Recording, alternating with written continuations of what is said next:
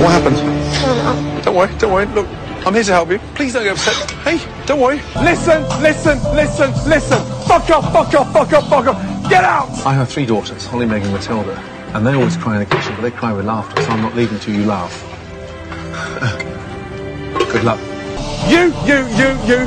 Fuck off out of here. Me. Get out! Hey, excuse me, madam. Yes. Fuck me. How about fuck you? You amaze me every time.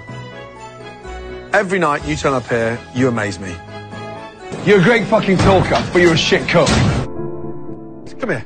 I know you get upset. Come on. Hey. That's all. Do me a favour.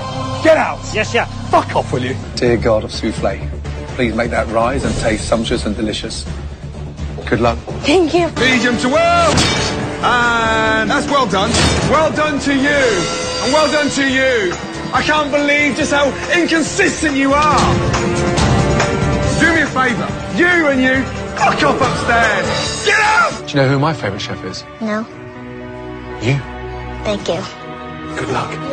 Come on, you can do this. Anything to say now? No, chef. Nothing at all. Anything to say? Anybody?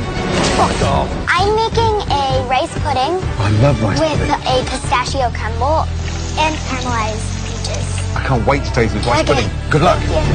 You, you, you, you, you. Get out!